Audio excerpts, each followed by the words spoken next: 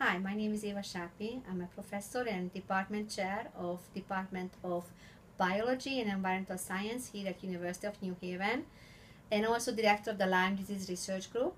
And uh, this summer we have again big plans. Uh, we're still looking for the best antibiotics, whether it is a natural antibiotics or maybe a, a regular antibiotics. So we will spend the whole summer to see which antibiotic or which antibiotic combination will work.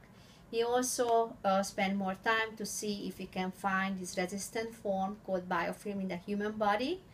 Uh, we have uh, just had two wonderful thesis defense just today showing that unfortunately uh, this resistant form can be found deep in the body including organs like liver, heart, brain, even kidney. Hopefully we're going to publish this data very soon and you can read more about it. Thank you.